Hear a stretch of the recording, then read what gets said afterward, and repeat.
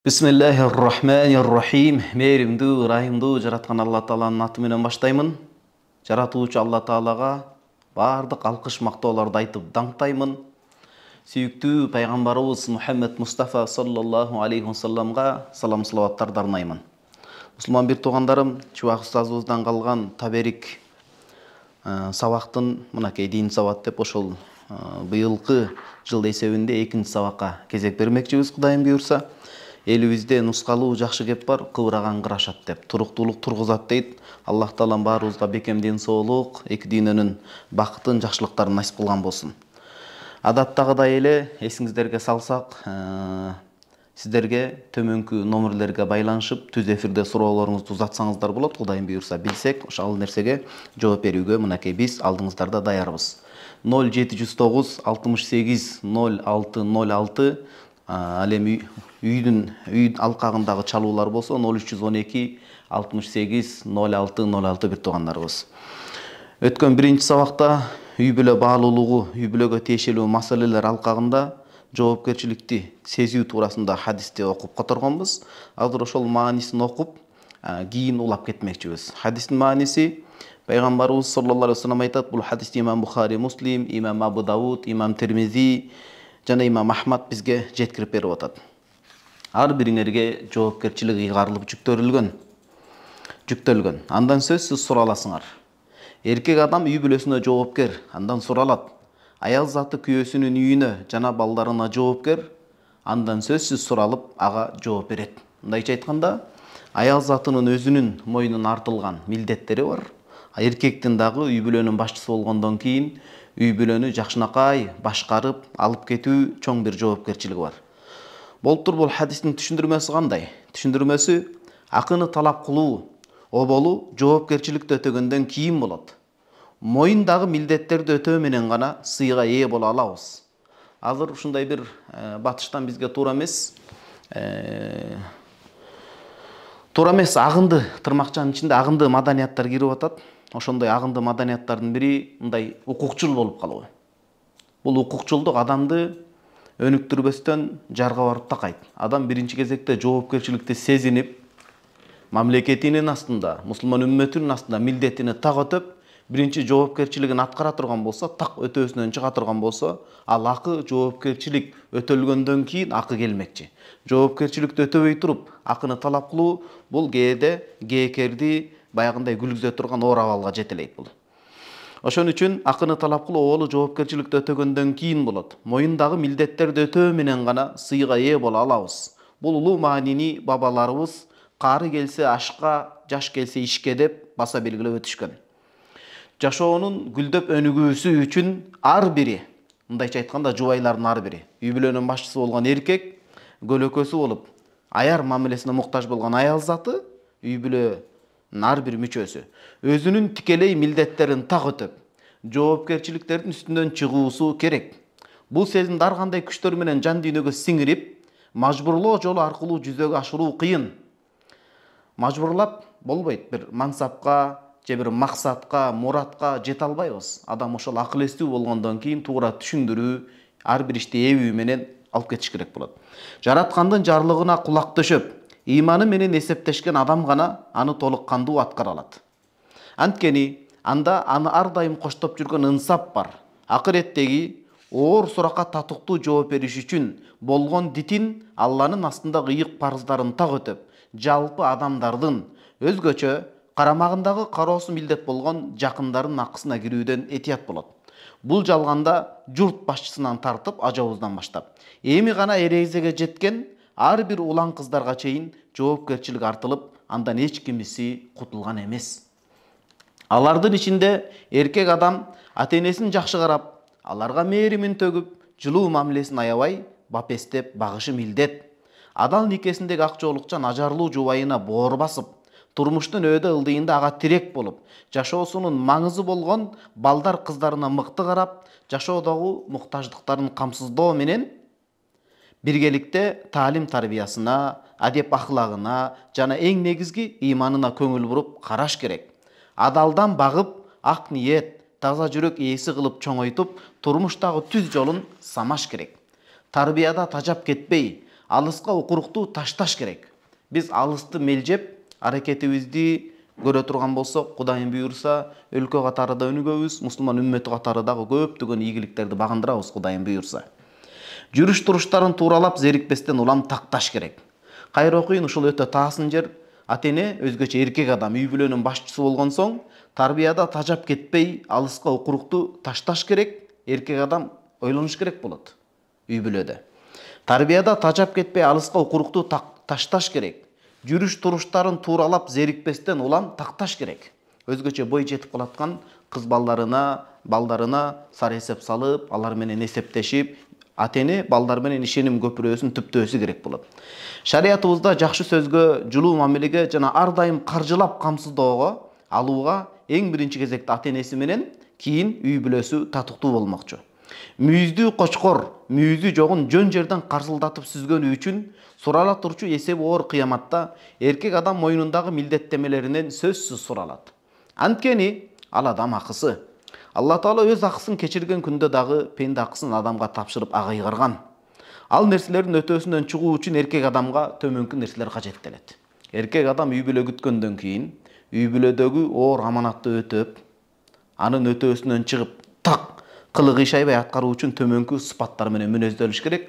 Бул ошол үй бүлө турмушуна аттанып жаткан жаш жубайлардын кулактарына дагы күмүш сырга катары болсун биринчиси эркек адамга керектүү мүнөздөр бекем ыйман жана кыямат күнкү сурактан чындап коркуу мына азыр былтыркы жылга сара эсеп салып бир аз баш бага турган болсок канча деген эркектер зулумдук кылып эми оозго албай эле коелу радиодон ал сөздөрдү аялын кескилеп башка кылып оор бир акыбалдарга чейин э, мындай бир туушуктурган учурлар адамдын тула бою дүркүрөп кете турган жүрөктүн ичин ала турган окуяларды баарыбыз угуп көрүп да калганыбыз бар.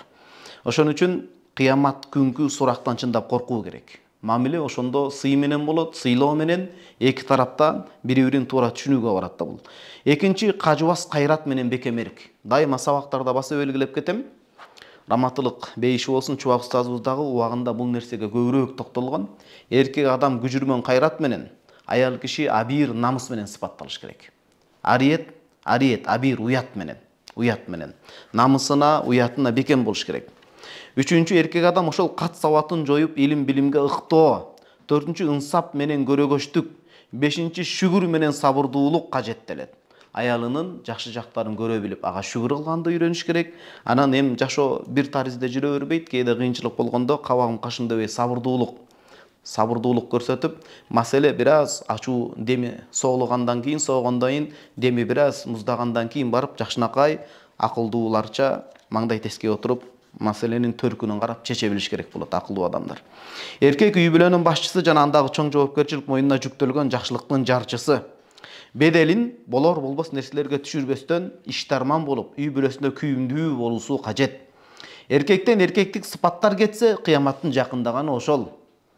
Кыяматты чакырган жаман жоруктардын көч башын тапшырылган аманатка тапшырылган аманатка кыянаттык кылып баалуулуктар алмашып анын ордуна жасалма жамандыктардын орношу басмакчы эркек жалкоо жана аңкоо болуп мойнундагы тикелей милдеттерден жаа бою качып аял затын арта салат бул кыяматтын белгиси мына чубак устазыбыздын мечитинде дагы суроолордун негизинде адамдардын келген суроолордун негизинде көп баса белгилеп кетебиз адатта эркек адам эрктүү болуп башын тик көтөрүп өлкө үчүн үммөт үчүн кызматын өтөп мээнет кылам деп элдин өнүгүшүнө салым кошом деп аялды турмуштук жарык катары ала турган болсо азыр кыяматка жакын тырмакчанын ичинде кээ бир эркектер аял затына тие турган эркектер пайда болду да. Тие турган. Байлык үчүн мансап үчүн башка үчүн. Бүт ар намысты жыйыштырып коюп. Бул жерде ошону баса белгилеп кетмекчимин мен. Баалуулуктар алмашып анын ордуна жасалма жамандыктардын орношу басмакчы эркек жалкоо жана аңкоо болуп мойнундагы тикелей милдеттерден жаа бою качып аял затын арта салат ар намыс жана уят дегенди эсинен чыгарып эсирет бөөдө жерден жалкоолук ыктап кадырын кетирет. Мырзалык касиеттерди төмөнкү нерселер кетирет. Биринчи алты сан аман.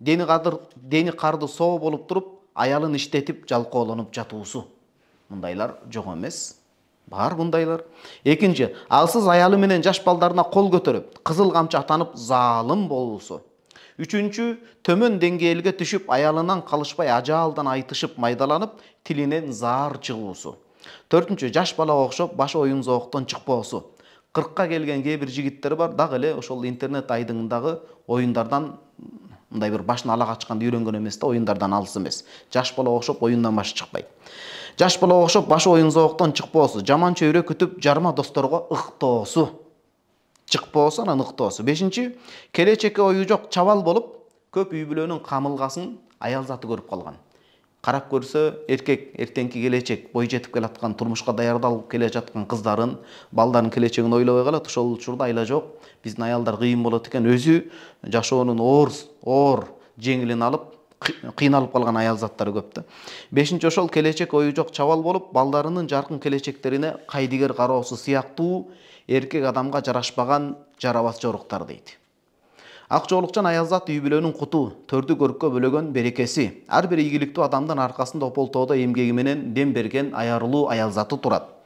Бул дүйнөдө сыйлуу акыретте бейиштин бийик даражасына жетүү үчүн аллага такыба ибадатчыл күйөөсүнө сүйкүмдүү аманатчыл балдарына күйүмдүү жароокер болуусу керек аял заты дагы өз кезегинде бизде раматылык чубак устазыбыз баса белгилеп кеткен аял затын сыйлагыла аманат деп андан алдын сүйүктүү пайгамбарыбыз салам көздүн карагендей сактагыла деп тапшырган бирок бул айтылган сөздөрдү кээ бир аял заттары кээ бирлери туура эмес түшүнүп баягы таразанын ташы алмашып эркектерди мүңкүрөтүп чөгөлөтүп ушундай бир кыйын абалга кириптер кылып койгондор жок эмес феминизмдин аркасынан түшүп ошон үчүн туугандар эркек үй бүлөнүн башчысы болгондон кийин ар дайым аны сыйлай билиш керек.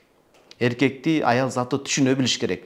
Жалкоолонуп жатып албагандан кийин аракет көрүп жандалбастап жанын карч уруп мээнет өткөрүп тапканына жараша таап атабы ошону топук билип ошого шүгүр деп сабыр келтирүү бул чыныгы бейиштик аялдын бейнеси анан чыныгы сүрөтү жүзү болмокчу. Бул дүйнөдө сыйлуу акыреттин акыретте бейиштин бийик даражасына жетүү үчүн аллага такыба ибадатчыл аял заты. Биринчи кезекте күйөөсүнө сүйкүмдүү аманатчыл балдарына күйүмдүү жароокер болуусу керек. Аял затынын асылы күйөөсүн сыйлап ага баш ие билгендигинде үйдү таза иреттүү кармап балдарына мыкты тарбия бергендигинде тазалыкка маани берип даарат менен таза тамак жасап түнкү намазда алардын амандыгын сураганында күйөөсүнө кыянат кылбастан оор кырдаалдарда аркасына бекем чеп болуп ага дем бере алат жаш келин ата энесин карап кайын журтун сыйлап балдарынын таалим тарбиясына көңүл буруп жашоосуна керектүү тажрыйба топтоо менен алек болгону бул эң жакшы касиети алланын ыраазылыгына жетип улуулардын батасына арзыйт кадыры өсүп баардыгынын астында сыйга татыйт эртең улгайган чакта өзүнө окшогон эпчил келиндин колунан даам сызып бакытка балкыйт дейт азыр эми бизге келип жаткан whatsapp аркылуу дагы чалуулар аркылуу да суроолор бар. Ошон үчүн мен сиздердин эсиңиздерге кайрадан эске салып эскерип кетейин Э, түз э, байланыш аркылуу сурооңузду узатсаңыз болот байланышка чыгып төмөнкү номерлер аркылуу ноль жети жүз тогуз алтымыш сегиз ноль алты ноль алты э, ноль үч жүз он эки алтымыш сегиз ноль алты ноль алты. Бир туугандар эмесе ошол whatsappтан келген суроолорго кезек берип коелу биринчи суроо мындай деп келген экен. Биринчи суроо мындай деп келген экен. Анан туугандар биз бүгүн ошо туруп сабак өтүп атканыбыз туруп суу ичүүгө мажбур болуп атканым бул ден соолук себептен э, э кийин интернет айдыңына сабактар чыкканда же азыр түз эфирден угуп жатсаңыз туура түшүнүү менен кабыл алууга аракет кылып дуба кылып э, коюңуздарга биз муктажбыз. Бисмилля. Суроо мындай деп келиптир шам убактысын убактысынан өткөрүп окуганда каза деп окуп атам. Шамдын казасын куфтанды витрди окуп болгондо тахажжуд убагы болуп калган болот. Аны окуп болгондон кийин москва убактысы боюнча бир э, кечки бир кырк төрттө багымдат намазынын убактысы болуп калат анан багымдатты окуп жаткыча эки отуз кээде үч болуп кетет кээде уктап калып ишке кеч калам анан куптандан кийин уктап жетиде туруп окуп атам багымдатты суроо жетиде туруп окуган намазда каза деп ниет кылынабы же багымдат намазынын эки рекет сүннөтүн парзын окушту ниет кылдым деп эле айта берсек болобу сиз багымдатты уктап күн чыккандан кийин туруп окуп атасыз.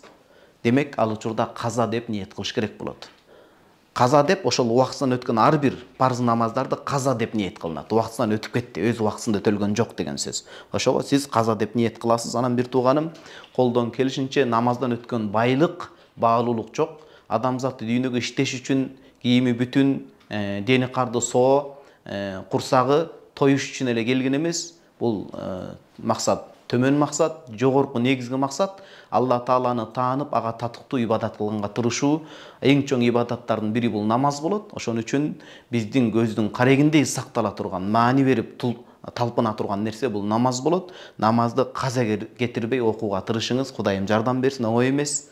Маңдай терди агызып пешене тери менен адал оокат аркалоо ал жерде ойноп жүргөн жоксуз жакшы түшүнөбүз. Бирок ошентсе дагы дайыма намазды биринчи орунга коюп жүрөктөн дегдеп бекем ниет кылсаңыз аллах жардам берет. Аллах жардам берет. Пайгамбарыбыз саллаллаху алейhi хадиси бар бухари муслимде келген. Ар бир адам ниет кылганына жетет аллахым жеткизет дейт дайыма намазды биринчи орунга коюңуз кудай мебепке себеп кылып убактында берекесин берет ден соолугуңузду да чың кылат анан сиз жумушка да кыйналып барып атпайсызбы кеч уктаган аз уктаган себептен? Сизге пайгамбарыбыз саллаллаху алейхи вассаламдын аздектүү сүннөт амалын сунуштайын мына жанагындай суроолор келген былтыр. Пайгамбарыбыз саллаллаху алейхи вассалам доорунда дагы пайгамбарыбыз саллаллаху алейхи вассаламдын кыздары сахабалардын аялзаттары кайната кайненесине кызмат кылганбы күйөөсүнө каралашканбы деп ушунчалык каралашкан бир туугандар бул муснадил имам ахмадта да келет фатима энебиз бир колу менен хусейн баласын кармап бир колу менен жаргылчак тартып кадимкидей отко салып нан жагып ушинтип катуу кыйналганын көргөндө азирети али күнүгө иштейт эле барып ошол алланын элчисинен барып бир кызматчы сурап келсең убактылуу болсо да өзүң тыгып алганча дегенде барып сураганда пайгамбарыбыз жок болуп калат кечкисин келип мен кызматчы сураганыңарды уктум бирок андан да жакшыраак амалды далалат кылып көрсөтөйүн кечинде жаздыкка башыңарды коюп жатаардан алдын отуз үч жолу субханалла аллахым сен айып күнөөлөрдөн тазасың. Андан соң отуз үч ирет альхамдулилля аллахым сага шүгүрлөр болсун аман ден соолук бергениңе элестетиңиз азыр бейтапканаларда адамдар ооруп жатат.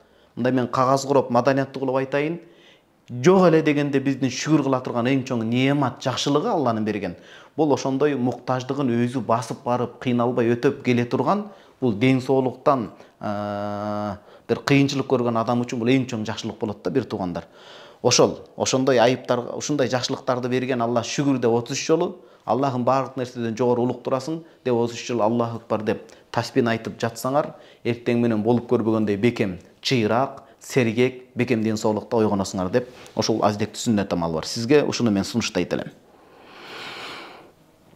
бул сиздин биринчи сурооңуз экен экинчи суроом дейт мен аял киши болгонум үчүн врачтын дарыгердин кеңеши менен кээде жылуу сууга марганцовка кошуп жууп турам. Ошол жууган боюнча дааратка эсептесе болобу же башка суу менен да жууш керекпи себеби марганцовка менен жууган бойдон кайра суу тийбей узак жүрсө пайдасы тиет экен ооба. Азыр мен өзүм деле дарыланып аткан себептен ошондой процедуралардан өтүп атам. Ошон үчүн бул истинжа маселесин сурап атасыз. Улуу нерседе уят жок динди үйрөнүү үчүн. Ошол марганцовка менен тазаланып жуулган истинжанын ордун басат бирок ага чейин бир сыйра нажасаттын баягы мындай өңүн кетирип изин кетиришиңиз керек болот. Бир сыйра тазаланып туруп. Кийинки суроо. Туугандар радиодон мындай суроолорго жооп берип атат дебеңиздер. Эми ал үчүн ал адам үчүн эжебиз үчүн россияда эмгектенип жүргөн эжебиз үчүн. Бул зарыл суроо. Ошон үчүн мен түшүндүрүүгө мажбурмун. Туура кабыл алыңыздар.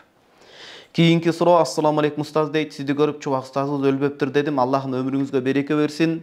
Аллахым илимиңизди мындан да көбөйтүп берсин. Амин.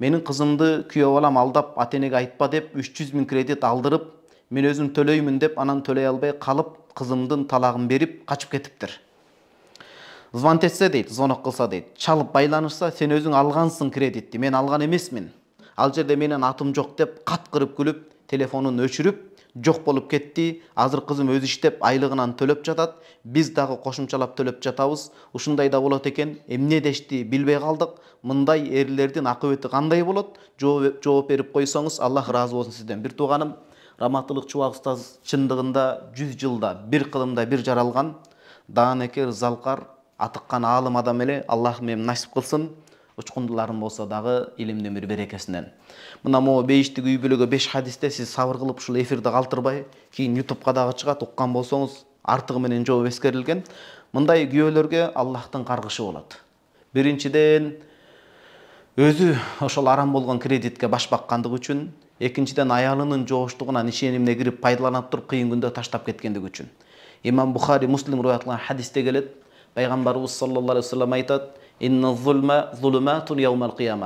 адамга жасалган зулумдук кыяматта укмуш чоң күнөө чоң оор жагдайга кириптер кылып келет дейт бул дүйнөдө күлүп кетип атат э закон түрүндө нотариустан башкадан эми күчтүү адвокаттар менен да кеңешип консультация кылыш керек бирок тиги сиздин кызыңыздын колу түшүп калып атат мен жазган эмесмин сүттөн ак тазамын деп атпайбы бул бул дүйнөдө кутулушу мүмкүн бирок акыретте аллахтын каар азабынан мен сабактарда тозок отун айтканды көп жакшы көрбөймүн бирок ушундай учурларда айтыш керек. Акыретте тообосуна келбесе өкүнүп мамилени кайра бекемдеп чыңдап кетирген нерсесин мойну менен тартып оңдобосо акыретте аллахтын каар азабына тозогуна дуушар болот мындайлар тозогуна түбөлүк калбайт иманы бар адам эле тозокто түбөлүк калбайт бирок аллахтын каар азабына дуушар болот эртерээк эсине келип тобо кылбаса аллах таалам сиздерге жардам берсин бирок күчтүү адвокаттар менен заңды мыйзамды законду билгендер менен бир кеңешип коюңуздар бир кеңешип коюңуздар мындай жагдайда дагы закондо дагы бар ал каралат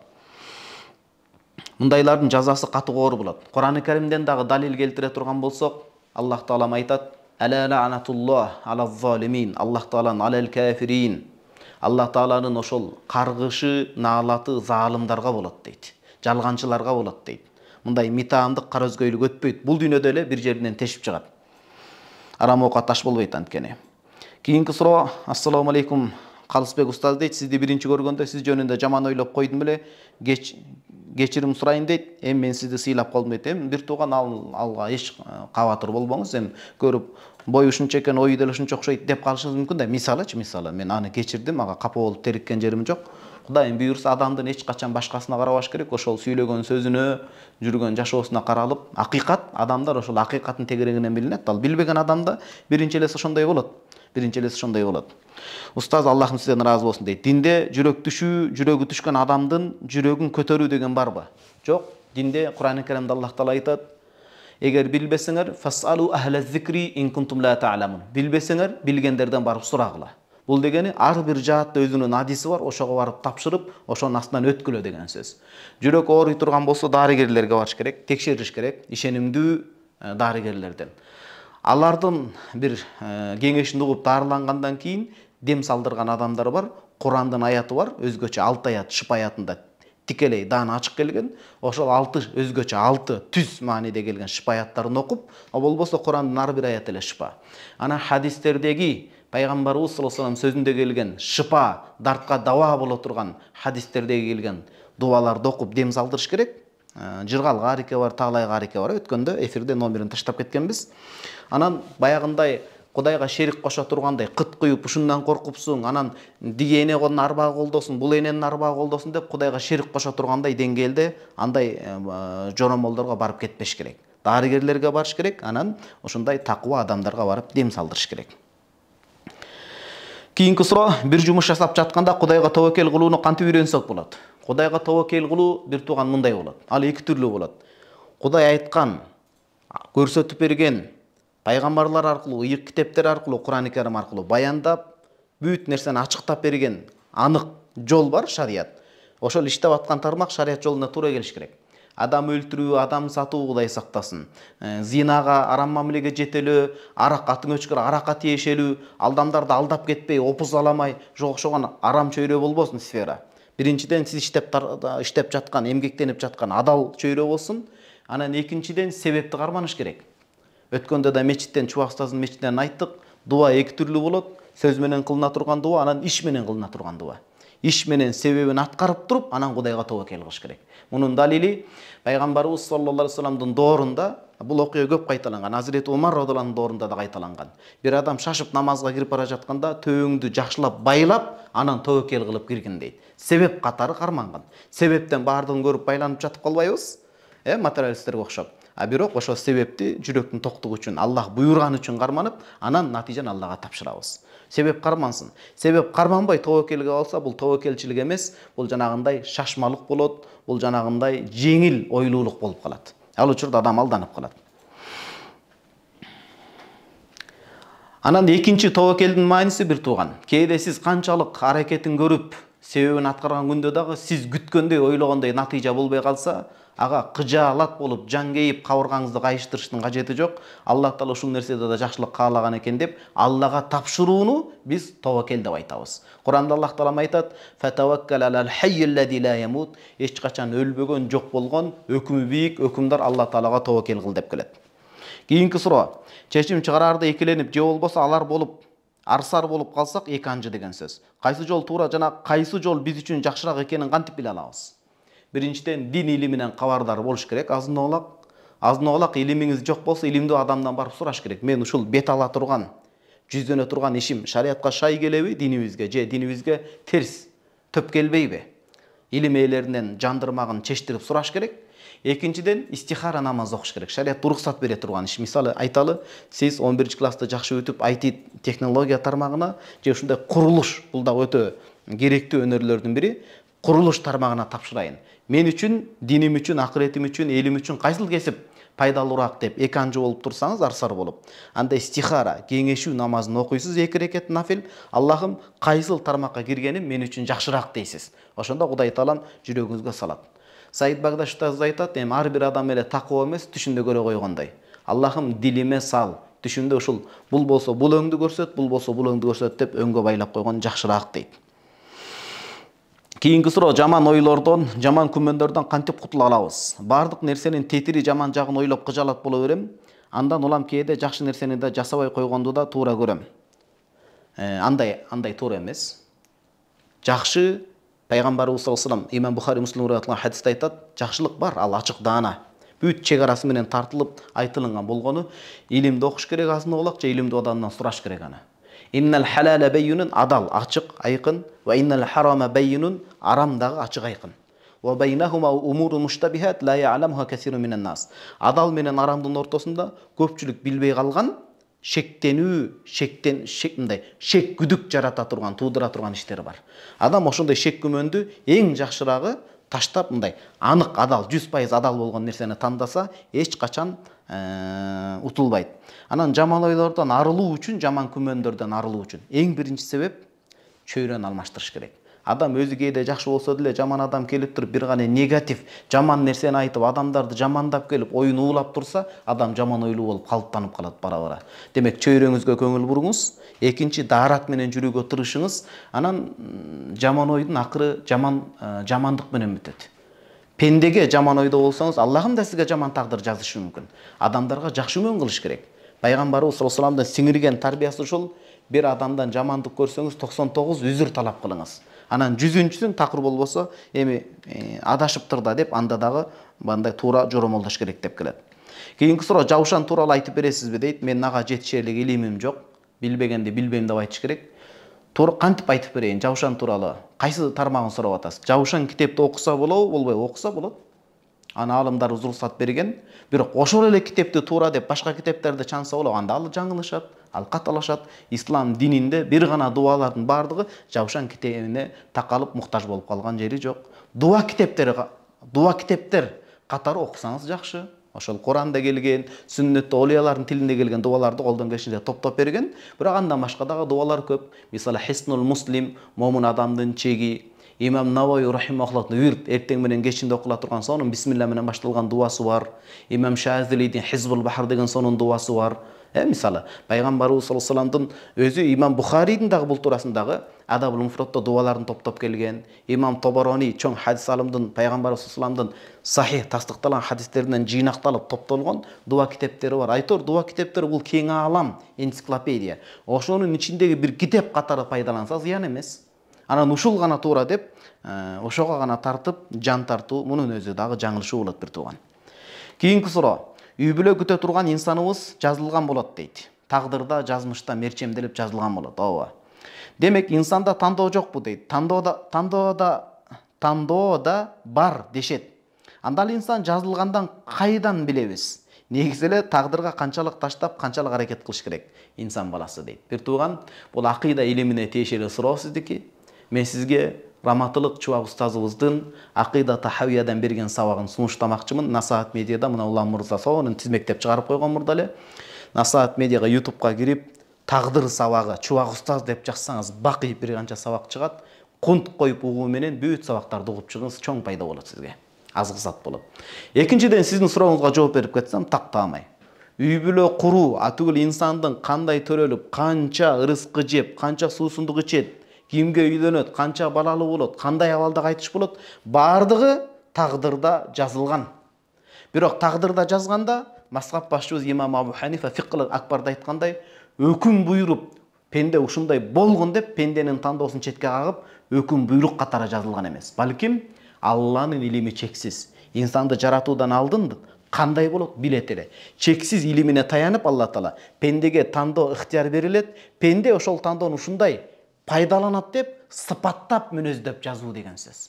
Сыпаттап мүнөздөп жазуу жанагы окуучу окутуучу окуучуларга сабак берген кезинде канча жылдан бери сабак берип балдар кандай ойлонот кантип жазат көбүн эсе тажрыйба аркылуу билип калат го бул салыштыруу жүздөн жүз эмес жакындатып түшүндүрүү үчүн гана алдын ала экзамен сынактан алдын эле баланча ашып барса төрт алышы мүмкүн баланча үчкө татыктуу баланча бештеши мүмкүн анткени тажрыйба себебинен билет алла таала куранда келет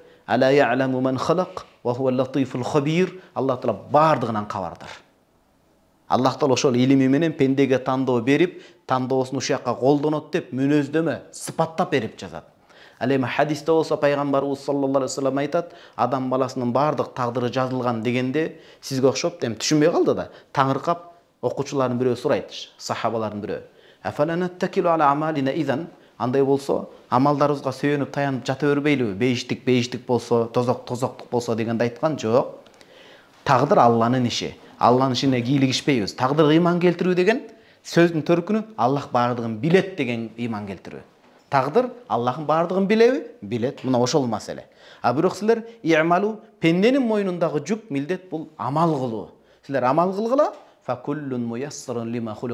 ар ким каяк үчүн жаратылынса бейиш тозок үчүн ошол амал ага сүйкүмдүү болуп турат дейт бейиш ээлери үчүн намаз мечитке баруу мамлекетине салам кошуу тазалыкты сактоо илимдин аркасынан түшүү билимдүү болуу улууга урмат кичүүгө ызат көрсөтүү бул эмне экен бир тууганым бул иманга шай амалдар демек иншалла андан жакшылыкты үмүт этебиз түшүндүңүз да бир тууган тагдырга канчалык ташташ керек ишти кылыш керек шариятка шай анан иш кылгандан натыйжасы болсо ошол артка карасак ошону тагдыр деп алла таала ыйман келтиребиз. Бирок азыркы учурду келечекти биз билбейбиз. Биз шариятка шай туура тандоого аракет кылабыз. Бирок мунун баардыгын алла таала эзелтеден мерчемдеп жазып койгон.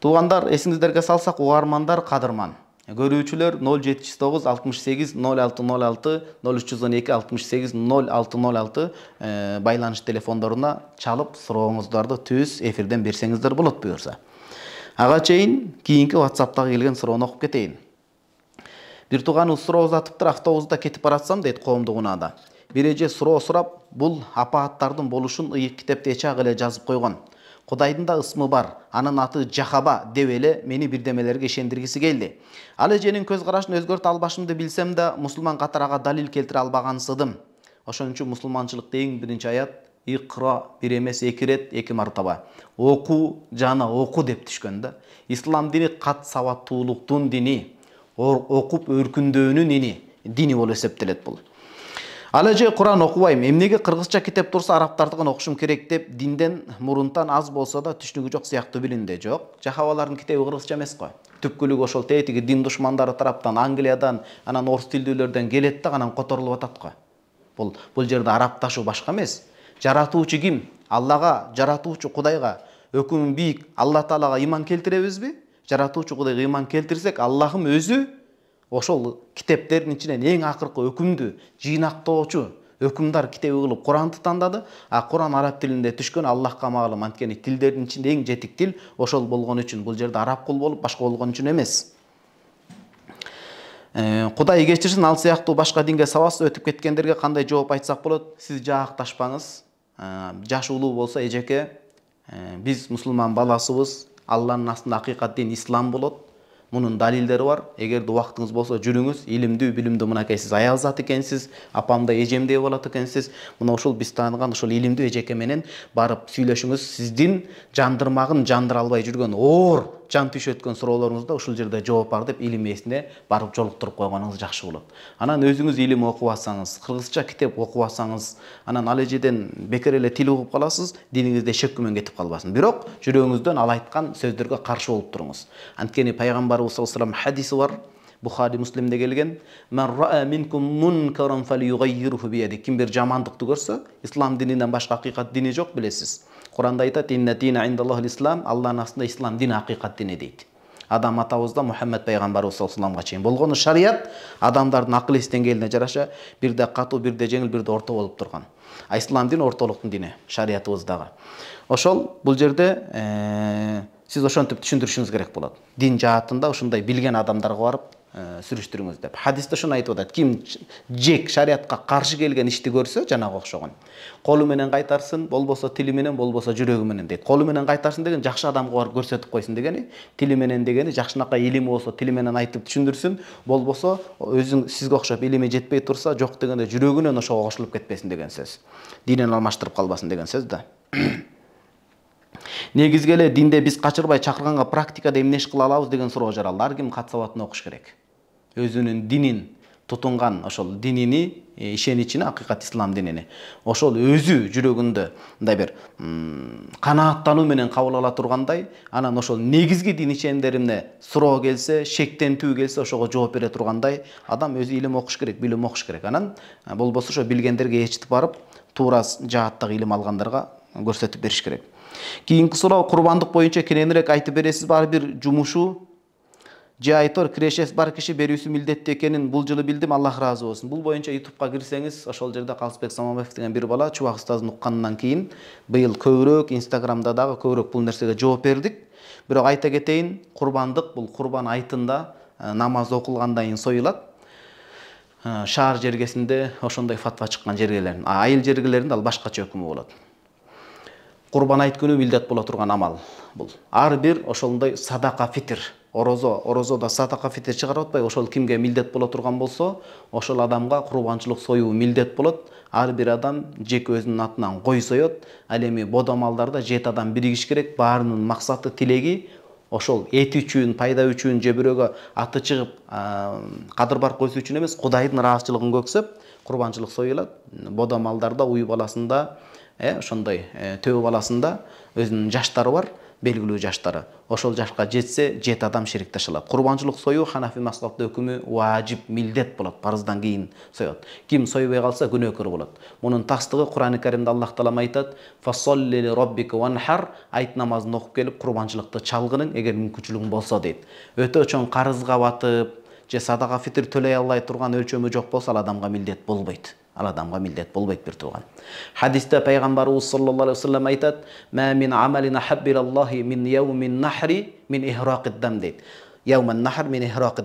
курбан айт күнү эң аллага жаккан сүйкүмдүү амалдардын бири ошондой курбанчылыкты чалып канын агызуу деп келет эми баягы курбанчылык малды союу деген сөз. Э ошол малдын ар бир түгү малдын ар бир жанагындай кылы малдын ар бир жанагындай туяктары башындагы мүйүздөрү кыяматта күбөгө өтүп келет деп келет.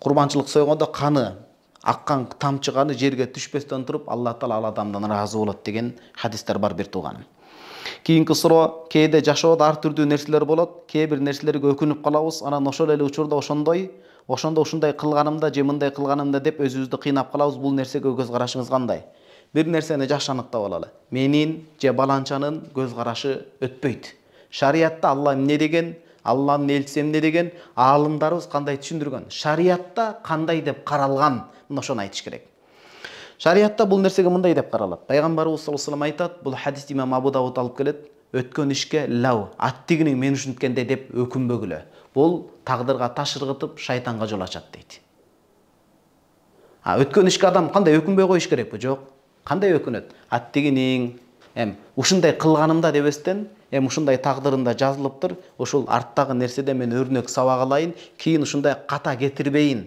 ушундай жаздырбайын нафсиге шайтанга алдырбайын десе ушундай тыянак чыгарса бул болот анан өкүнүп эмнеге кудайым эмнеге мени көрүп калдың эмнеге мындай тагдыр жаздың мага деп кудайга акаарат келтире турган болсо жаратканда жаратканда мындай таризде болбойт өрнөк алса болот анткени биздин өткөн күнүбүз тарыхтын беттери да тарых деген ата бабалардын баскан изин окуп изилдөө кандай туура басты? Ошондон өрнөк алуу. Ката кетирген жеринен да өрнөк алуу анткени бирөөнүн катасынан дагы а мындай болбойт турбайбы деп өрнөк сабак тыянак чыгарыш керек. Ошондой таризде болсо болот бир тууганым.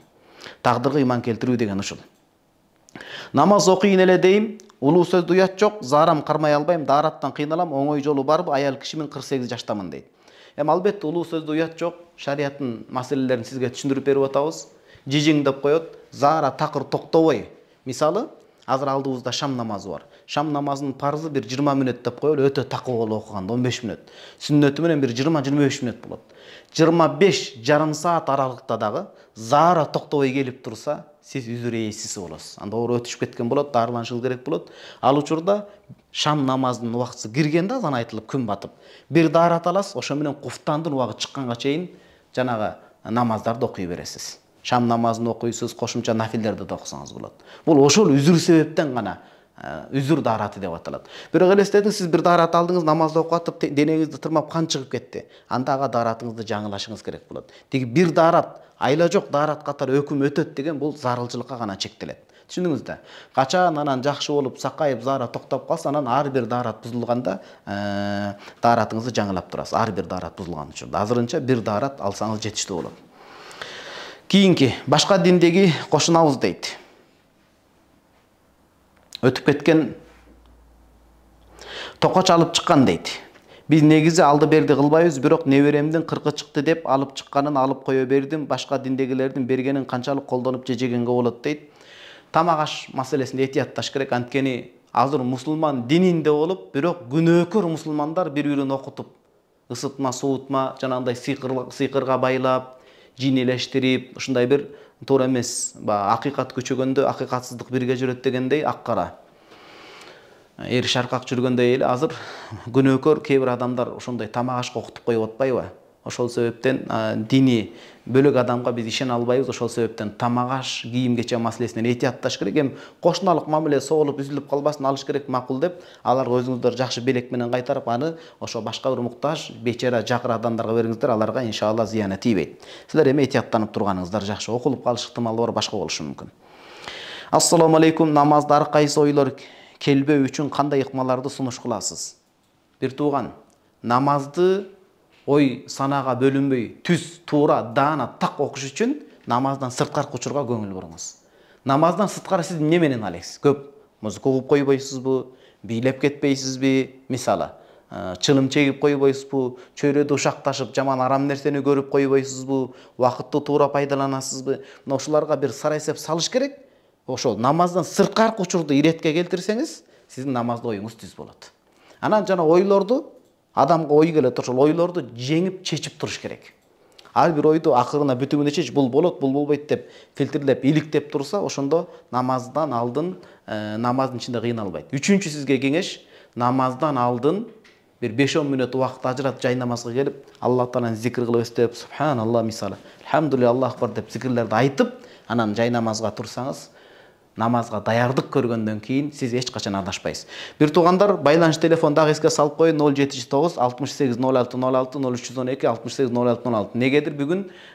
жамгырга байланыштуу адамдар дагы ушул ватсаптагы суроолор кызык болуп атат деп көбүнчө чалганга чамасы келбей угуп атат окшойт бирок ошентсе дагы чалып коюңуздар туугандар бир сүйүнүп калалы кийинки суроо суроом дейт шам намазынан кийин окулуучу намаз кандай ниет кылынат абабил дедиңизби дейт жок абабил эмес ауабин арабчага тилиңиз келбесе аллага жалбаруучулардын намазы деп ниет кылсаңыз болот абабил деген баягы меккенин тарыхында пайгамбарыбыз төрөлүү жылында меккени басып жок кылам деп йеменден абраха деген камкор заалым келген ошолор меккени бузабыз дегенде алла таала аларга абабил куштарын жөнөтүп бирден тумшугуна таш тиштеп келип тозоктун ташын беркилерге азап жааган да бул абабил ошол алмаштырбаңыз ауабин эки в ауабин. Кыргызчасы кудайга жакындардын намазы деген сөз. Эки рекет мисалы үч рекет куфтандай парзын окуйсуз эки рекет сүннөтүн окуйсуз анан эми өзүнчө окуган жакшыраак кээ бирлер сүннөттүн ичине кирет дейт өзүнчө окуган жакшы анан эки рекет атайын аллах үчүн аллага жакындоо максатында такыба адамдардын намазы бар экен сүннөттө келген. Ошондо ауабин намазын окуйм деп ниет кылам дейсиз бир тууган кийин курсак байлап жүрүү канчалык күнөө ошону киргизбей эринип жүрсөм эмне болот дейт курсак байлап жүрүү канчалык күнөө ошону киргизбей эринип жүрсөм эмне болот эми бул молдолорго таалуулуу тема бир тууганым өзүңөрдү билип албайсыңарбы молдокелер дебегиле биз көп окуп калабыз кыймыл аз болуп калат буюрса окуубузду аяктап келсек кадимкидей эле чекчей иретке келип калабыз эми жалпы суроого жооп берип кетели курсакты байлап жүрүү канчалык күнөө күнөө деген сөз жок бул жерде катуу мындай белин байлап алса ошол аркылуу ден соолугуна зыян келсе ошол тараптан күнөө болот мисалы бирөө элден уялып намыстанып куру намыска катуу байлап алып анан дем ала албай кийин кыйналып өпкө өпкөм жогору жакта бөйрөк башка боорулоруна зыян келип калса ошол тараптан күнөө болот а негизи пайгамбарыбыз саллаллаху алейхи вассалам негизинде түпкүлүгүндө эркектердин курсак чыгарып жүргөнүнү жек көргөн жаман көргөн эми баягы ал ыкшоолукка кетет бирок оору себептен башка болуп калган эми бул исключение катары бааланат ошону киргизбей ээринип жүрсө эмне болот эмне болот эле эңкейсе өз бут кийимин өзү кие албай калат бир тууган курсагы чыккан адам эмне болот ошол өзүнүн боосун өзү байлай албай калат демигип калат кыйналып калат ал мындай ыкшоолук ыкшоолук деген жалкоолукка жетелейт ал адам уктагысы эле келе берет ал адам өзүн өзүн кыйнап калат кенен кенен кере кере дем ала албай калат ошон үчүн орто зар курсагын сактаныш керек. Бул тармакта бакыт тактагазиев деген жакшы врачыбыз бар улан ажикебиздин катарында. Ал киши өткөндө дарыланып барып калсак айтат японияда мусулмандардын сүннөтүн алган дейт. Пайгамбарыбыз саллаллаху алейхи айткан ашказанды үчкө бөлгүлө бир бөлүгүн тамакка бир бөлүгүн сууга бир бөлүгүн абага аралашып кетпесин. Мисалы тамактын алдын ашказанды даярдап суу ичкиле анан тамак деген тартиптери бар го. Туугандар азыр сиздин сурооңузга жооп берүүдөн алдын бизге чалуу бар экен ошого кезек берип койсок ассалому алейкум сиз эфирдесиз сурооңузду узатсаңыз болот бир тууганым эгер эфир байланышыңыз үзүлүп калбаса сурооңузду узатыңыз негедир байланыш үзүлүп кетти окшойт сиз кайра байланышка чыгыңыз сизди сүйүнүү менен кабыл алабыз ноль жети жүз тогуз алтымыш алты алты ошол хадисте ошентип үч бөлүккө бөлгүлө деп келген япония мамлекетинде канчалык болсо да сексен пайыз гана ошол курсакка тамагын тойгуза турганчалык өлчөмдө жыйырманы абага калтыра тургандай болот көп оорунун алдын алат деп биздин сүннөттөн пайгамбарыбыз алейхи кадырлуу сүннөтүнөн алып амал кылууга мамлекеттик идеология кылып булар бекитип киргизип атышат.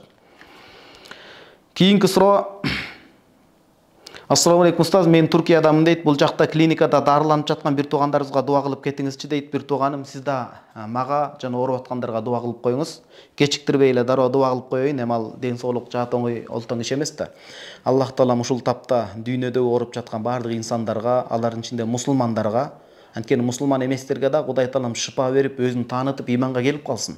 А мусулмандарга алла таалам шыпасын берсин өзгөчө суранган эжебиз туркияда анан кыргызстанда дагы ооруп жаткан баардык мусулмандарга кудай таалам шыпасын берип омин тарткан дабасын берип оору көрбөгөндөй тез арада жазылып кетсин. Кийинки суроо саламатсызбы? дейт. Аял киши боюнда бар кезде жолдош үч талак берсе түшөбү талак түшөт. Мына могу алдыда ыктыяр китеби турат бизде келет. Боюнда бар же казак бауырларыбыз айтат эки кабат дейт боюнда бар аял кишиге талак айтса талак түшөт аял кишиге талак берсе талагы түшөт бирок күйөөсү эки эсе күнөөкөр болот талак түшкөн үчүн дагы анан боюнда болгон учурда дагы элестетиңиз өзү үч талактын өзү чоң күнөө муну шариятта талакул бат дейт ортодогу ма менен бүт үзүп кое турган талак болот талак аршты титиретет аллах жараткан мубах нерсенин ичинде эң ачуусун алып келген каарын жаадырган талак болот анан боюнда бар кыйналып бала төрөп берейин деп аялдын гормондор ойноп өзү айылы жок абалда кыйналып атса күйөөсү түшүнбөстөн туруп иттик кылып мынтип бергенде үч талак берген бул өтө чоң күнөө болот эртең ал кыйынчылыкты көрөт үч талак түшкөндөн кийин курани каримде келет ошентип үчүнчү талагын берип үч талак айтып койгон болсо ал аял күйөөсүнө адал болбойт. Хатта танка заужан койро башка бир күйөөгө шарт кылбастан тийип шарт кылып тийип тийгени макрух тахриман болот арамга жакын. Аны менен жашап кадимкидей эле эрди аялдай болуп анан андан жашоосу болбой күйөөсү өлүп калып же талак алып иддасы бүтүп келсе гана адал болот. Бул оор процесс болот. Талак бул зарылчылык. Шариятта эреже бар.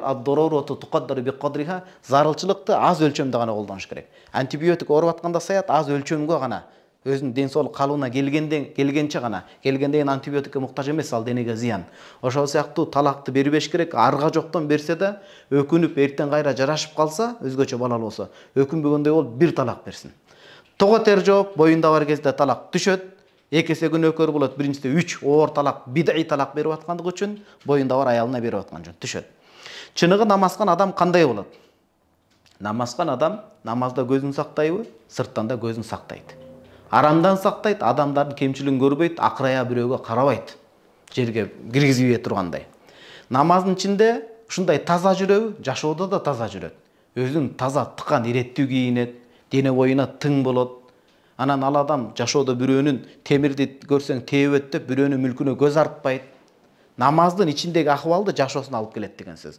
Тазалык ариеттүүлүк намыс. Намаздагы оңой адамдар аткара албайт сабырдуу адамдар аткара алат демек жашоосунда бул адам сабырдуу болот намазда тартип мыйзам бар жашоосунда бул адамдын тартиби бар мындай өйдө ылдый оомол төкмөл жашоодо биягына бир ооп биягына бир ооп жашабайт ирет тартип илим билим намазды илимдүүлөр окуйт куран жатташ керек намаз чыныгы намаз адам жашоосунда илимдүү билимдүү болот ал мамлекетин сыйлайт анткени намазда турган адам имамын сыйлап атпайбы озуп кеткен жок артта калган жери жок мамлекетин сыйлаш керек түптөлгөндөн кийин ал өлкөсүн мусулман үммөтүн сыйлаш керек болот бир тууган кыскача ушундай кийин мусулмандар үйгө ит мышык бакса эмне болот? Мышык бакса мейли бирок жанагындай колго үйрөнгөн үйдү нажас менен булгап койбогон эмес болот. Анткени балдарга ошол жоопкерчилик үйрөтүү үчүн. Эми азыр айла жок шаарларда ошондой болуп калган болбосо айылда болсо бак чиркин кандай жакшы жашоо? Малын карайт башканы карайт бала ошо менен денеси да катыйт а мышыкка мейли уруксат. А бирок итке уруксат берилбейт. Итке өтө катуу зарылчылык катары бир гана хадисте келет. Күзөтүү үчүн же болбосо жанагындай малчы болсо мал айдоого жардамдаш үчүн өтө зарыл жүйөлүү себептер менен ит бакса болот. Андан ашык үйдө шаар жергесинде европалыктар туура ит бакса күнөөкөр болот. Бухарида хадис келет абу хурайра радиаллаху анху айтат пайгамбарыбыз саллаллаху алейхи айткан малды бактыруу үчүн же күзөтчү жок эле итти бага турган болсо үйдө үй ичинде. Тигилерди туурап. Көңүл буруңуз ошол итти баккан мусулман адам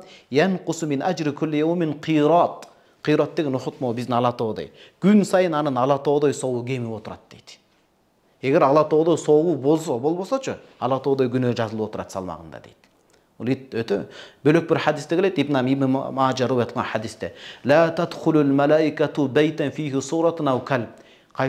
тимсал айкел болсо сүрөт болсо жандуудай толук сүрөт болсо толук кандуу айкел болсо анан кайсы үйдө ит болсо жана зарылчылыксыз ит багылса ага периште кирбейт мындайча айтканда ал үйдө бир эки пайыз болбойт деген сөз.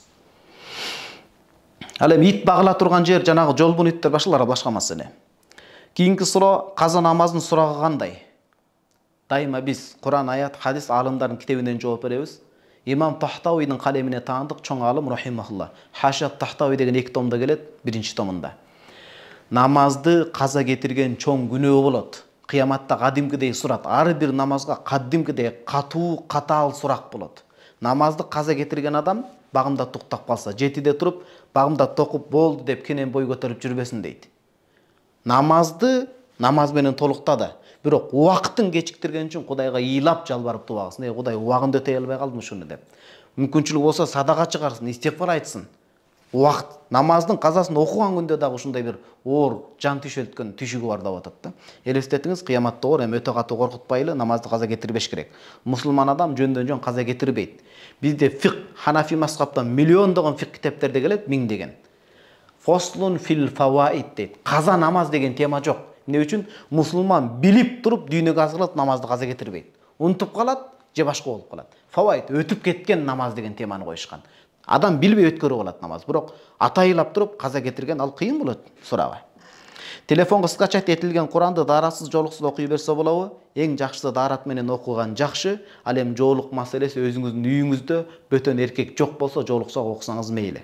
Бирок куранга адеп көрсөтүп курандын адебин сакташ ылаазым болот адеп көрсөтүү үчүн жоолук салынып даарат менен окуш керек. Түшүндүңүз муну? А бирок үйдө болуп эми жоолуктан ысып кыйналып калсаңыз бөтөн эркек жок өзүңүздүн үйүңүз өлөңүз өлөң төшөгүңүз болсо дааратыңыз болсо эсеп жоолук кийген жакшы кийбей калсаң зыян эмес эми кийип койгон жакшы бурак курани каримде аллах таала айтат ким алла тааланын ошол белгилерин сыйласа ал жүрөктөгү такыбачылыктын белгиси болот бул куран ошонун белгиси бизде чалуу бар экен бир тууган ассалому алейкум. Алейкум ассалам бир тууганым сурооңузду узатсаңыз болот э сурооңузду айтыңыз.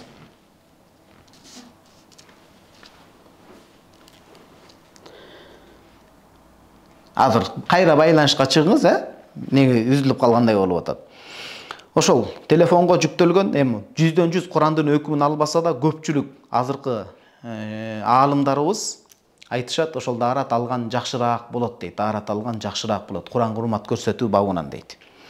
Жанагы адамыбыз кайра чыккан окшойт. Ассалому алейкум.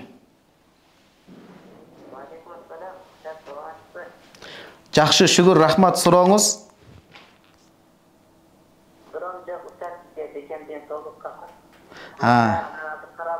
көп суроолор муамалат маселелеринин чыгып жатат бул деген элибиз анча өсүп калыптыр көп билесиздер сиздерге рахмат бир тууганым аллах ыраазы болсун рахмат. Ушу көңүлдү көтөрүп чалып койгонуңузга негизи бул убакыттарды ганимет билип көп көп байланышып сурап калалы албетте элибиздин деңгээли өстү биринчи кезектен ушул чубак устазыбызга жана залкар аалымдарыбыз эмгеги чоң салымы чоң үлүшү мына ошол элибиздин деңгээли көтөрүлүп кадимкидей эле чоң суроолор келип жатат кадимкидей эле кийинки суроого кезек берели whatsappтан ассалому алейкум устаз дейт менин кичинекей кезимде бир түш көргөм түшүмдүн өзгөчөлүгү канчалаган жылдар өтсө да кечээ күнү көргөндөй көз алдымда бир келишкен адам алыстан карасаң ушунчалык сүрдүү келбеттүү бир аз артыраагында эки жолдошу бар жанына барсам ушунчалык мээримдүүлүктүн мээлим мээлүүн жели келет дейт адабиятты окуган адамдын суроосу да бул башымдан сылап шамшар берди кылычтын кичине бычактан чоңураак отуз жылдай убакыт өтүптүр арадан эч унутпадым манаско деп ойлочумун анан чоң атамго деп да ойлонуп жүрдүм бирок ал ойлорум туура эмес чыкты пайгамбарыбыз мухаммад саллаллаху алейхи вассаламдын келбетин сүрөттөгөн сиздин сабагыңызды угуп жүрөгүм ошол эле деп токтоду менин түшүмдү жоруп бериңизчи бир тууганым шамшарды алып аткандыгыңыз бул жигит адамга мындай сактык иретинде демек жүрөгүңүздө ыйманыңыздын күчү деген сөз түш түш жорулбайт түз жорулбайт бул боюнча көп китептерди окуганбыз ошол китептердин бири имам набулуси рахимахуллахтын таатирул анам адамдардын түшүн баягындай жорый турган китепте таатирул анамда айтат түш түз жорулбайт бычак эмне үчүн керек. Бирөөнү өлтүрүү үчүн эмес коргонуу үчүн керек. А бүгүнкү бузукуучулук каптаган заманда эң чоң нерсе эмне коргонуч ыйман менен болот демек мына ошол ыйманыңыз күчтөлөт экен демек ыйман менен эсептешиңиз пайгамбарыбыз саллаллаху алейхи вассалам сүннөттөрүн жашоодо көп аткарыңыз эртең менен тургандан таң заардан күн кылтайып батканга чейин эмне сүннөт амалдар келген? Ошону аткарыңыз деген сөз иншалла. Кудайым берекесин берсин. Бизге дагы пайгамбарыбыз саллаллаху түш көрүүнү насип кылган болсун. Акыретте шапаатын колдоосун насип кылсын. Жумушта бир байке менен отурам өзүм жолуктамын эч нерсе болбойбу дейт. Экөөңөр жалгыз отуруп калсаңар үчүнчүңөр шайтан болот. Бухариде келген пайгамбарыбыз саллаллаху алейхи айтат ла яхлуанна бимураа бирөөңөр аял менен жалгыз отуруп калбагыла үчүнчү шайтан болот дейт бир оор угулушу мүмкүн бирок баары этияттап турган жакшы эми ошол жерде мындай камералар болуп эми канча шултоо издесек деле этияттанганыңыз жакшы болот этияттанганыңыз жакшы болот пайгамбарыбыз саллаллаху алейхи акылдуулардын акылдуулары. Адамга ишенич жок адамды азыр адамды каратып туруп алдап коюп аткандай камера эмнеден тосуп атат? Туурабы ошол себептен бизге ал маселе калыптана элек кудайдан коркуу деген сезим ошон үчүн этиятташ керек бир тууган шарият чек араны сактаганды. А түгүл мен сизге жооп катары айтайын. Бухарида хадис келген. Пайгамбарыбыз саллаллаху ушул могул аял заты аял заты сыйда болот кызга кырк жерден тыюу деп айтып атканда ушул мааниде бир адам келип суроо берген.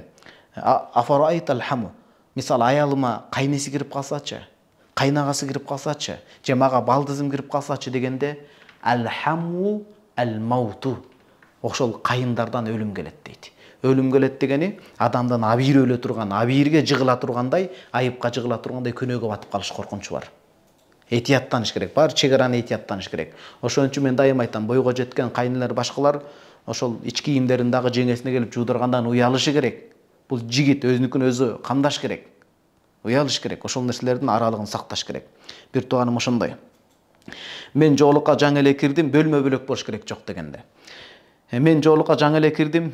Элдин жоолукчаңсың периште бол деген сыяктуу сөздөрүнө чыдабай баратам эмне кылсам болот? Жоолукчаңсың периште бол. Эл жакшы эле демек жакшы кабылдап атат. Аллага шүгүр биз тектүү элбиз нартуу элбиз сыйлаган элбиз. Жоолуктун түбүндө аруулук жатат илимге билимге ишкыбоздук жатат адептүүлүк жатат. Чындап эле ушундай болсун анан. Жоолук кийип түнкү клубтарда жүрүп калып кечке жетелешип никеси жок жигиттер менен жүрбөйлү же жоолукту кийип алып молдокелер айткан тиги устаз айткан баланчы устаз айткан кайната кайненеге кызмат кылмай жок деп шариятты бурмалабагыла шариятта бар кызмат кылуу алланын астында суралабыз туугандар казы мажбурлабайт бирок алланын астында суралабыз кимдин ошо кудурети болуп мүмкүнчүлүгү болуп туруп каары адамына кайын атасына чай бере албаган аял кайненесин сыйлай албаган аял кыяматта жооп берет эмнеге улууга урмат көрсөтпөдүң күйөөңдүн энеси кошол деп. Э? Көп жакшылык кылат да сизге. Ошон үчүн туугандар чындап жоолуктун жоопкерчилиги бар жоолукту чечпеңиз коркпоңуз. Бул милдет парз ким тобокел кылса ушул парз иште кудайым айбат берет кудайым сүр берет. Сиз жоолукка шай эле жүрүңүз. Жоолукка шай эле төп эле жүрсөңүз кудайым өзү сүр дагы берет сый дагы берет иншалла. Турмушка чыгаардын алдында кыз даярдануусу керекпи? Апени кокуй дейт го? Атаны кокуй деп. Турмушка чыгуудан алдын кыз кандай даярдануусу керекпи деген кандай түшүнөсүз бир тууганым чындап билиш үчүн сурап атасызбы же кандай суроо бул мен сизге каршы суроо берейин сиз мисалы бишкектен нарынга сапар кылып чыккан атасыз. Кез келген бирөөнү отура бересизби же издейсизби карайсызбы ошол унаага бул элестетиңиз бишкектен нарынга канча сааттык төрт беш сааттык жолдун өзүн ушунча карайсыз өмүрлүк турмуш жолуна кантип даярданбаш керек кыз киши кыз кишинин энеси курсактан даярдап баштайт өткөрүп аткан жокмун курсактан сүйлөшөт эгер кыз киши болуп калсаң кызым адептүү болгун деп баарлаш керек курсактан баштап эне төрөлгөндөн баштап алла өзү даярдайт кыз киши ошондой баланы карай тургандай ойноп ошондой кылып чоңоет даярданыш керек милдет болот даярданбасаңыз эртең кайненеңизден тил угуп каласыз кайнене кор кылбаш керек кул кылбаш керек. Бирок батпай каласыз да төркүнгө батпай каласыз сыйга ээ болбой каласыз кыз киши даярданыш керек тырмактайынан даярданыш керек. Мына ата баласы кызга кырк жерден тыюу кыздын сыйы улук ушундай жогору сөздөрдү бекеринен айтышкан эмес турмушка даярданыш керек. Кандай даярданыш дин тараптан сабатыңыз болуш керек? Өтө чоң аалыма болуп кетпесеңиз да адал арамды намазды этеккир жана төрөткан жана башка маселелерди биле тургандай анан могу нарк насил үрп адат шариятка каршы келбеген үрп адаттан да кабардар болушуңуз керек. Анан үчүнчү улууга урмат көрсөтүп мындай ийкем тамак аштын көркүн келтирген күйөөнүн көңүлүн жайпап таба тургандай болуш керек. Ошондой бир туугандарым бир туугандар байланышка дагы чыксаңыздар болот мен жана номерди дагы бир эсиңиздерге сала кетейин жадыңыздарга түйүп алыңыздар. ноль жети жүз тогуз алтымыш сегиз ноль алты ноль алты. Бисмилля. Турмушка даярдык көрүш керек бир тууган мына могу бейиштик үй бүлөгү беш хадис. Сиз сабыр кылып угуңуз ушул жерде бүт маселелер жазылган ушул жерде. Мен сизге окуп берейинчи мына. Э, кезеги кийин келет бирок окуп коеюн мына жоопкерчилик тарабында бул нерсеге аябай катуу басым койгонмун мынакей қараңыз мына хадисте эскерилгендей жашоого даярдык керекпи деп атпайсызбы кыз киши кимдин алты саны аман жок дегенде бир күндүк тамак ашы өз үйү өлөң төшөгү болсо ага бүткүл байлык берилгенге тете болот алла берген жакшылыктарды эскерип аны туура колдонуу шүгүрчүлүк болуп эсептелет азга шүгүр кылбаган көпкө шүгүр кылып жыргатпайт шүгүр кылып адамга шүгүр айта албаган аллага шүгүрсүздүк кылганга тете күйөөсүнө шүгүр айта албаган аял аллага шүгүрсүздүк кылганга тете болот. Жаманда болсо каралашып турган күйөөсү бар болгон үчүн аны жерибей күйөө катары көрбөй чамбастан оңолуусун тиленип жакшы жагына өзгөрүүсүнө бата дуба кылышы керек. Канткен күндө да балдарынын атасы эмеспи?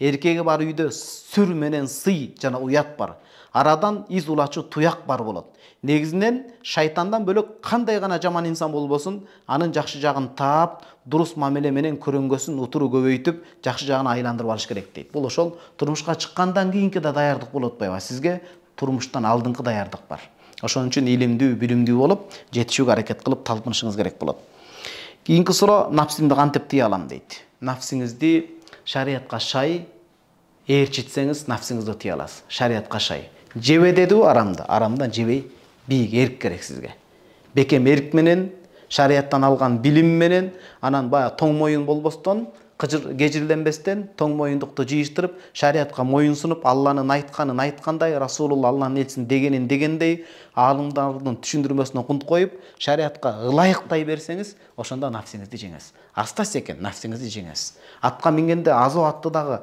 мындай кылын тартып тизгинди кармайсыз го ошол сыяктуу нафсини дагы мынтип айтканына көнө бербестен мынтип отуруш керек. Айтканына көнө берсеңиз ал каалаганын кылдырат. Жок арасында кыр көрсөтүп туруш керек. Кой кой деп. Адал нерселерди дагы. Күнүгө эле жыргал жашоо шадран шатман жашоо десе жок кой. Мен жыргап күлүп жүрсөм бирөө кыйналып жүргөн дагы бар. Бүгүн кичине орозо тутайын тамак аштын да кадырын билейин. Бүгүн аптасына катуу иштеп бирок бир күн бейтапканага барып могу ооруп аткандардын абалын көрөйүн жашоого шүгүр этейин деп нафсини акырын тыйып туруш керек имам бусари нафси боюнча мындай ырларын айтып кеткен инна нафса каттифли ин нафси нафсини жаш баласы мал жаш баланы эме берсин деп таштап койсоңуз чоңойгонун билбей онго чейин деле эме бериши мүмкүн бала бештен деле өтүп эме бериши мүмкүн шариятта ашып барса эки жарым жыл үч жыл деп келет шариятта жаш бала сыяктуу эгер койсоңуз кете берет дейт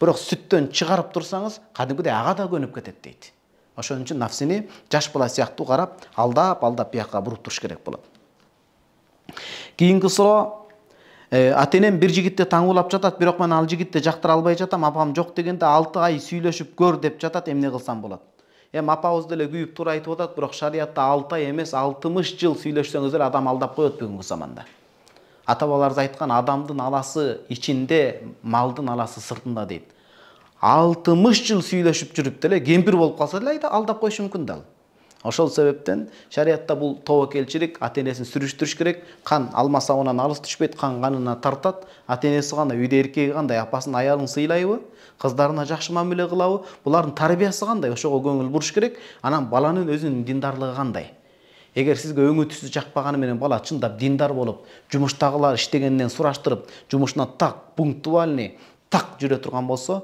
өңү түс ал өдүр бөдүр өңү түстү чылап чай кылып иче албайт экенбиз мындай кылып кийим катары кие албайт экенбиз анан эркектин өңү түсү ал эркек мындай өтө сулууланган эркектен коркуш керек күзгүдөн албаган ал көгүлтүр эркек болуп калат ал эркек ушул туруши эркек ушуна ушул одур бодур ошондой өссө бир аз сакалы чыгышы мүмкүн топу кийсе топу кийбесе кийбеши мүмкүн эркек ошо турушу эркек анын албетте эми көңүлүңүзгө жагыш керек бирок айтайын дегеним азыр батышта мультфильм чыгарып киноны чыгарып отуруп жаштардын аң сезимин булгап койгон жанагындай бир башкача бир кызтеке болуп кете турган эркектерди сүрөтүн бейнесин чийип койгон да кыздардын сүрөтүндө ошон үчүн алар жок операция канча бычак менен ошондой жалган сулуулукка жетип атат.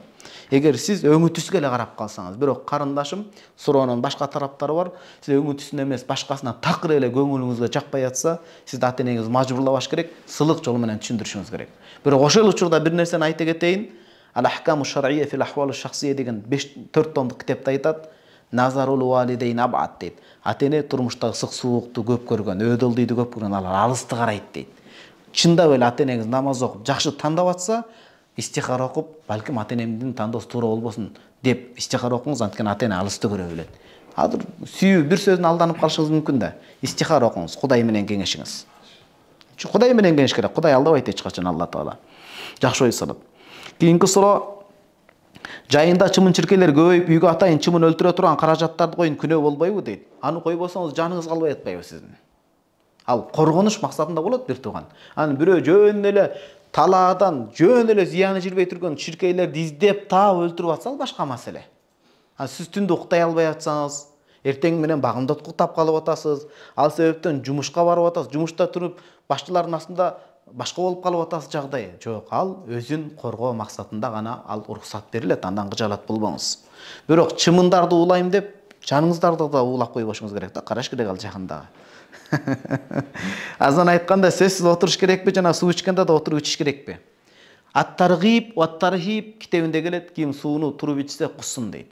Э молдоке сизди марал фмден көрүп атабыз го азыр ютубтан сиз туруп ичип атасыз го. Тууган мен кечээ гана эки үч күн болду операциядан чыктым.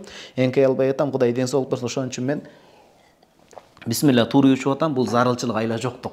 Негизинде отуруп ичкен бул сүннөт болот бирок сүннөттүн даражасы медицинада аябай пайда болот анткени муну медицинада японияда изилдеп чыкты он төрт кылым мурда отуруп ичкиле деген. Туруп ичкенде шлак түз кетет экен да ошол микроб менен организмге жоон он эки ичеге бул жерден аллах таала иммунитетти жарата турган кылган медицинада. Ошол жерден тазаланбастан суу өтөт. Бул зыян болот. Шлак жана башка. Адам отуруп ичкенде кадимкидей фильтрациянын ордун жана япониядан чыккан фильтрлер бар го эң кымбат ошонун сапатындай тазаланып барат деген сөз. Эми алардын бир ачыкка чыгарганы биз муну билбеген күндө деле пайгамбарыбыз саллаллаху алейхи ээрчип баардык илим ошонун ичинде камтылган отуруп ичет элек. Бул сүннөт. Туруп ичкен эми бул сүннөткө каршы иш болот. Мусулман адам сүннөткө парыз болбосо да важип милдет болбосо да амал кылат. Анан кээ бирлер ашыра айткандар бар аларга жок. Ошо мындай өткөрүп айткандар бар анчалык катуу кылбаш керек. Отуруп ичкен сүннөт болот ошого ыкташыбыз керек. Ал эми көңүл буруңуз бир тууган. Азан айтканда сөзсүз отуруш керекпи? Эми кээ бир адам зарыл болуп туруп калса зыяны тийбейт. Бул адептүүлүк маселеси. Чубак устазыбыздан студент эки миң тогуздар сураганда пакистан индия мамлекеттеринде отуруп урмат көрсөтөт кээ бирөө туруп эми бул деген сөз азанга чакырыкка жооп бергиле деген сөз намаз окубай койбогула деген сөз негизгиси бир адам азанды угуп отуруп туруп бирок намаз окубай койсо анда анда кыйын болуп калат бул негизги максат азанга жооп берүү азан чакырып атат хайяла сала туугандар намазга келгиле хаялал фалах ийгиликке келгиле деп атат ошол намазга баруу эми отуруп койгон жакшыраак койгон отура албай атсаңыз туруп урмат көрсөтүңүз отурганда да турганда да негизги максат барып намаз окуңуз отуруш керек экен деп кыйын бирөөнүн бели ооруп атса да кыйнап ийбегиле зорлоп шам убагында жин шайтандар сыртта жүрөт дешет чынбы чын? хадистерде келген жаш балдарды колдон келишинче колдон келсе өтө кеч чыгарбаганга аракет кылгыла жин шайтандар таркай турган убакыт чыга турган болсоңор дагы эми дем салып чыккыла дейт молдокелер айтты чыгарбаш керек экен деп тумчуланып кыйналып отуруп албагыла үйдө анан демин салып жүргүлө жин шайтандар көбүрөөк жүрөт абада таркайт дем салып чыккыла деген мааниде эгер жүрүшсө кандай жерлерде жүрөт сыртка чыкпаш керекпи жок динди андай түшүнбөш керек. Адам зарылчылык болот азыр деген тээ жай түн мезгили кыска болот адам ысыйт күндүз жумушта болот балдарын алып чыгыш керек. Динди туура түшүнүш керек. Максат ооба шайтандар чыгат пайгамбарыбыз салам көрүп айтып атат дем салып чыккыла анан кечинде этият болгула анткени жанагындай зөөкүрлөр башкалар жангесерлер башкесерлер кудай сактасын ушу кечкисин жүрөт деген сөз. Оочу жерге түшүп калбагыла анан жанагындай дооматка жалган жалаага өзүңөр себеп болуп калбагыла деген мааниде айтылган бул. А дем салып эс алдырып чыкса ата эненин коштоосунда этият коопсуздук болгон жайга чыкса тынчтык боло турган. Ал зыяны тийбейт иншалла. Ал зыяны тийбейт. Кандай жерлерде жүрөт? Гүл ташталган жерлеринде жүрөт анткени ошо гүлдөн тамак аш аларга жасалып берет жиндерге сөөк саактарга. Пайгамбарыбыз салам айтат ошо сөөк саактарды ажыратканада колдонуудан этият болгула аларга жинге эт өсүп чыгат жиндер тамак жейт дейт. Гүл анан ыпыластын нажасат болгон жерде баспагыла кыргызда жакшы макал бар ыпыластын досу чымын дейт. Ошол ыпылас жерде жин шайтан отурукташат деген сөз. Анан кечкисин суудан этият болуш керек кыз кишине жөнөтүүдөн эркек бала барып дем салып суу алып келсин. Анткени мишкатул масабихте келет инна шайтан бана аршгалалма ошо суунун үстүнө курган дейт эми кээде жин шайтандан коркуп калбаш керек сууда толкундун үнү угулуп калса деле коркуп кетип корккон кош көрүнөт болуп жүрөгү ооруп калбасын деген сөз эми кийинки суроо биздин мазхабта намаз окуп жатканда сажда рүку кылганда шымды өйдө көтөрүп жыгылабыз саждага баратып шымыңды көтөрүп койгон бул ашыкча кыймыл дейт ошону түшүндүрүп бересизби ошон үчүн сүннөткө ылайык шым кийиш керек болот анан өтө узун болуп кетсе шымды көтөрбөш керек экен деп барып анан тоңолонуп кетпеңиз сальто ашып тууган өтө узун болуп келген айла жок көтөрүш керек болот ал учурда ал зарылчылык бул мына биздин ыктыяр биринчи томдо кетет дейт намазда зарылчылыксыз ашыкча кыймыл кылганы макруу болот дейт зарылчылык жок эле улам улам эле минте берсе болбойт бирөө жумушка кетип костюм кийип шымынын үтүктөлүн көрүп үрүкү саждада шымын ойлоп бул үтүгү жазылып кетпедиби экен деп улам шымын тарта берсе ал макруу болот анан зарыл болуп тар кийип алыптыр эми кийбеш керек бирок кандайдыр себеп тар кийип тартпаса жыгылып кете тургандай болсо ал айла жок тартыш керек анткени рүкү сажда ансыз болбойт да бул ашыкча кыймылга айтылынган бир тууган ошон үчүн эң жакшысы ага намазга ылайыктуу шим кийиш керек болот басканда да кыйналып чалынып калбагандай буйдаланып дүйшөмбү анан бейшемби күндөрү орозо карман сүннөт деп уктум ошондой сүннөт болот бир тууган сүннөт болот кармаган жакшы ассалому алейкум устазым ден соолугуңуз жакшы өмүрлүү бактылуу болуңуз аллага шүгүр аллахым сизден ыраазы болсун түшүмдө бир столдун үстүндө экенбиз чубак ажы жолдошуна жолдошума болсо керек э жолдошуңа жолдошуңа ың жолдошуңа бер деп сүт берди жок өзүм эле ичем деп ичип алдым жоруп бергилечи дейт сүт илим болот бир тууган. Эми ал ошондой болот эми. Чубак устазды көргөндө сүйүнүп кетсеңиз керек да түшүңүздө сүт илим болот. Демек сиз илим илимдүү болот экенсиз. Мына азыр сабакты көрүп угуп атканыңыздын өзү бир канча илим да бир тууган. Он жылда ашкан нерсени эми биз илимсиз эле бирөөбүз го бирок билгенибизче айтып берип атабыз. Демек кандайдыр деңгээлде рызкыны угуп атасыз деген сөз. Ассалому алейкум кал устаз дейт чубак ажыга болгон кусалыгыбызды бир аз таркатып сизди бизге берген аллага шүгүрчүлүк болсун дейт.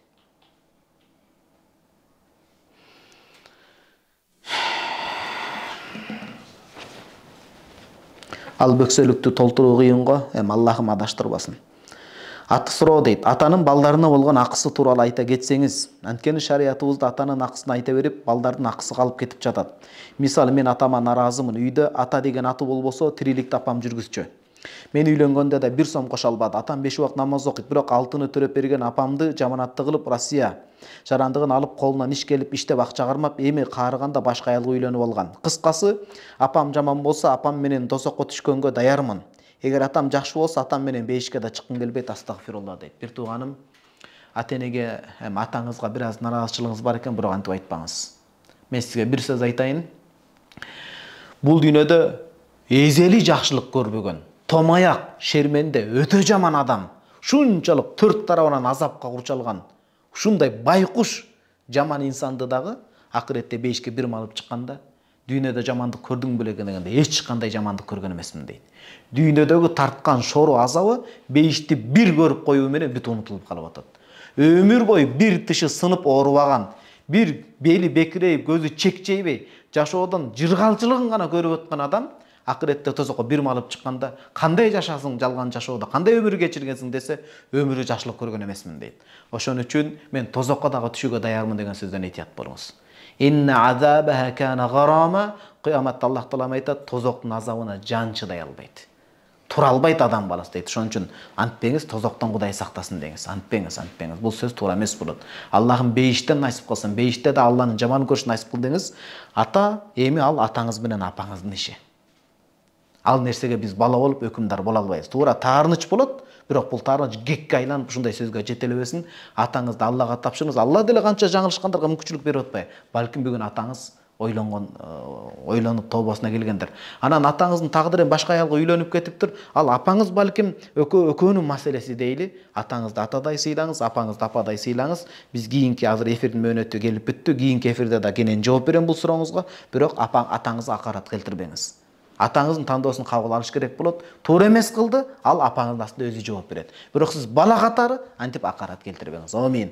Аллах таалам бекем ыйман чын ден соолук берсин эч кимди адастырбасын жаздырбасын. Кудай таалам бекем ынтымак берип кудай таалам эки дүйнөнүн жакшылыктарын насип кылсын. Туугандар ыраазы болуңуздар. Аллах таалам ошол пайдалуу илимибизди арттырсын. Атина азабаннар.